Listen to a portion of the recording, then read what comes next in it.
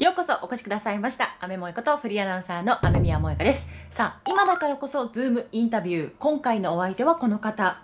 タレントで女優の青木さやかさんです。青木さんと私の出会いのきっかけは NHK の朝の情報番組朝一のエンタメコーナーでした。えそこからプライベートでも仲良くさせていただいております。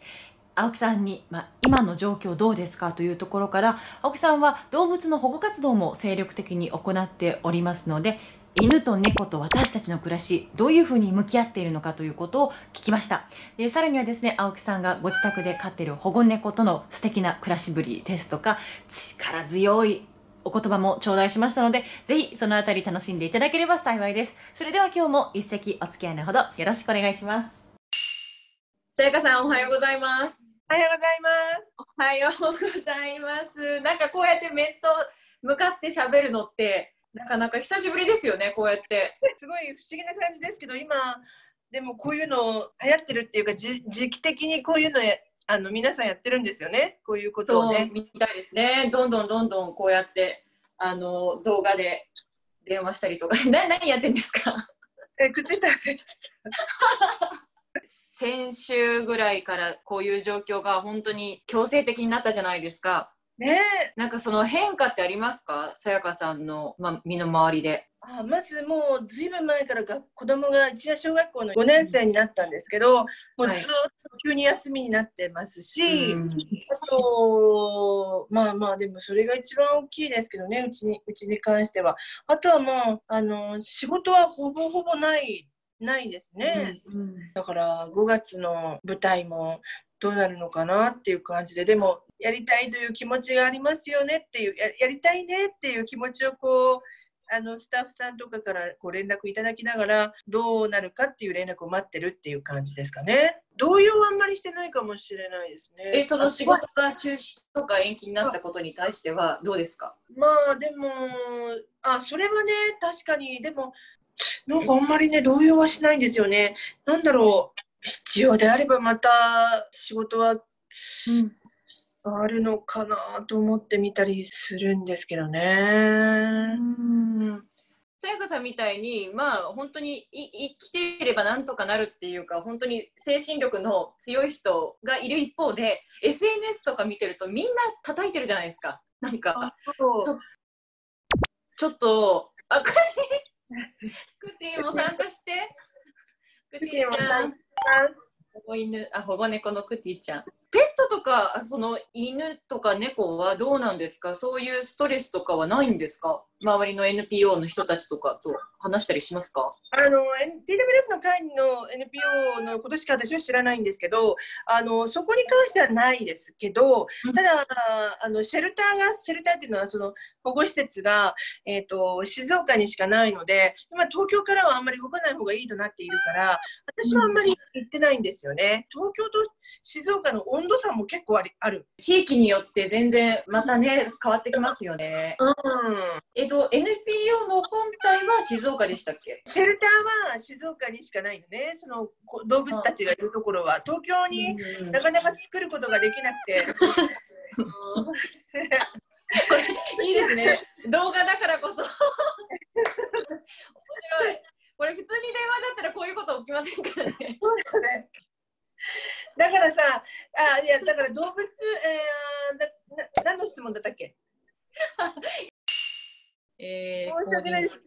まさあかの、いえいえいえ。ちょっと配置が変わった。申し訳あーそう充電しながら失礼しました。あ、大丈夫です、大丈夫です。失礼しましたすみません。まあ、ちょっとあの話を変えるんですけれども、はい結構その今さやかさん動物の保護活動にあのすごく力を入れてるじゃないですか。そうなの。結構あれですよね。あのご自身で自発的にイベントを開催したりとかってしてるんですか？やってるんですよ。あのね、もともと、えー、7、8年前かな、その NPO の TWF の会っていうところにご縁があって、なんとなくこう動物の活動になんか社会貢献ちょちょっとだけね社会貢献がしたいなっていうふうにも思っていて、うん、なんとなくこうコミュニティができたから、えー、とやり始めたっていう感じでもともとはあの全然動物愛にあふれるような人間でも全くなく動物は別に嫌いじゃないけど小さい頃にこう犬が可愛いなとか思って飼ってもらっては結局は親に任せるみたいな感じでずっと、ね、犬も猫もそうしてたもその NPO 活動を通して、はい、たくさんの犬犬とか猫がいるのかとか一一気にこう動物を見ることが初めてで、本当人間と同じで性格が全然違うし、顔も違うの。いろんな事情、引っ越しとかアレルギーになってしまったとか、いろんな事情でこう動物たちが来るんだけれども、ものすごくね、やっぱり人間に対して恐怖心があるから、すごいの顔つきがね。でも、毎日こう愛情を与えていくと、動物の顔ってすごい変わってきて、で最後はものすごく甘えてきて、里親さんの元に行くっていうのを見てると、まあ私はそんな毎日毎日見れてるわけじゃなくて、たまに行くと、え、これがあの猫ですか？みたいなことがすごくあって、まあそういうのを見ていたら、もうなんか、そっとやってる意味もよくわかんないなと思って、まあまあ、ビビたることかもしれないけれども、去年、まあ、例えば杉本彩さんとか、浅田美代子さんおやりになってますけど、うん、杉本さんなんかからはこう話を聞いて、勉強させてもらいながら、犬と猫と私たちの人生の楽しみ方っていう団体を立ち上げて、年に数回、こう、犬とか猫とかと暮らせると、暮らすとかって楽しとても楽しいよっていうようなことを伝えていけたらいいなっていうようなものを立ち上げてはいるんです。しばらくいた NPO からここに急に来ると、やっぱりあのあれですよ、猫は家が、ね、変わるとストレスがすごくたまるって言いますけど、私もこういうの慣れてなくてすいませんね、本当に。いやいやごめんなさい、すごく躍動感があります。えっと、猫は家に来ると、家が変わると、ちょっとストレスがたまるので、やっぱり調子を壊したりとか、あとはもうあのご飯を数日食べなかったりすることはあります。で飲んでれば大丈夫ですけどあのうちも水は飲んでましたけど、やっぱ風邪ひいたりとかちょっと体調壊しました。でもやっぱり徐々に徐々に大丈夫だよっていうことをこう買いながら愛情を上げていけばやっぱり変わってくるんですね。変わります変わります。まいこちゃんも見に来たらいいよ一回ねあのえいいですか？にならなくてもあの一回見に来てほしい萌香ちゃんみたいな人に。今そのさやかさんのお話を聞いていて環境がガラッと変わったら猫ちゃんだってワンちゃんだってそして私たち人間だってどうしようってなると思うんです。もうででストレス抱えたりとかして。でそういう時に周りの人たちが大丈夫だよってさやかさんみたいになんか、ね、安心させてもらえるような人がいたりとか愛情をかけてくれる人がいるとなんかやっぱ変わってくるんですかねわかんないです。でも大丈夫だよっていうのもね、なかなか何を根拠にっていう感じもあるので、あのもう余計なことを言わないっていうことと、あとは、なんでしょうね、私はね、まあ、大丈夫だよっていうのも言い切れないっていうところ、言い切れないってことも分かんないですからね、まあ、でも大丈夫であるようにあのしたいっていう気持ちはあるし、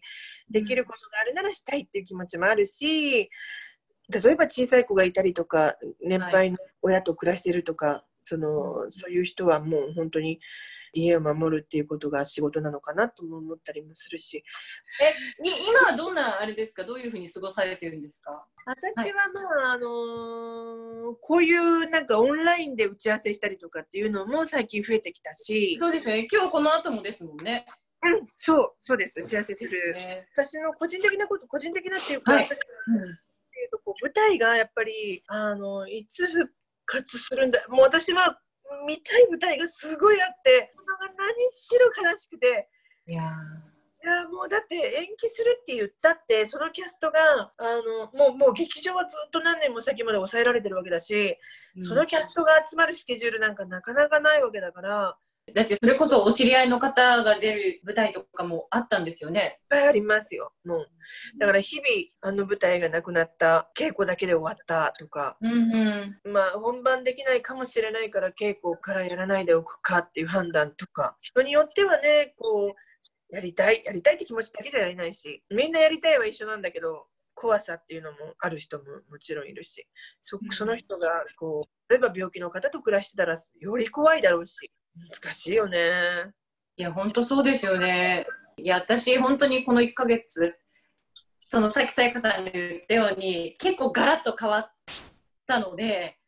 割とそのいろんな不安だったりとか心配とかでも大丈夫かなとかいろんな感情がわーって日々来るんですそうだね。そんな私にちょっと アドバイスください